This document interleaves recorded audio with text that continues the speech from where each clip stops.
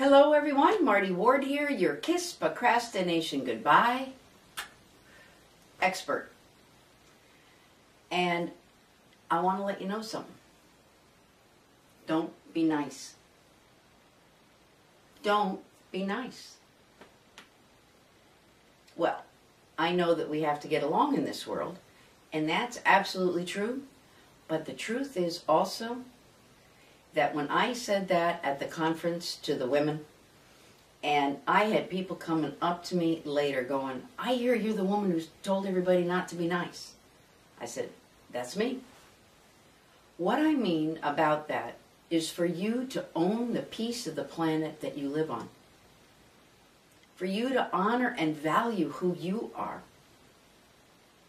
For you to live your life for you and not for somebody else.